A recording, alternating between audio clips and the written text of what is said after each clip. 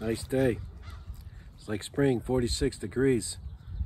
Saturday's supposed to be high as a 12, maybe minus 8 or 9 at night. Enjoy it now. So making a little birch spoon from the firewood I had over there. A little uh, serving spoon. Roughing it out. I, most of my uh, carving stuff's downstairs, but I got my uh, good hatchet up here for that little Ozark Mountain, believe it or not. My good carving knives are downstairs. I do have one here I just found, but uh,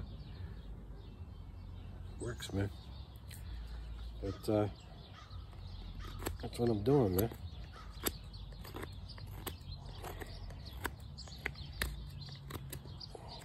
Gotta be careful.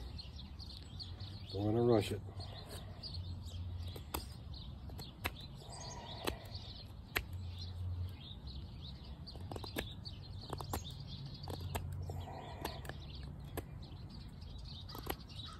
Real nice day.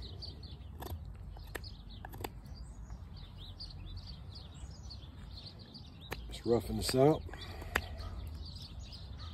Yeah. Gonna be okay. Hmm.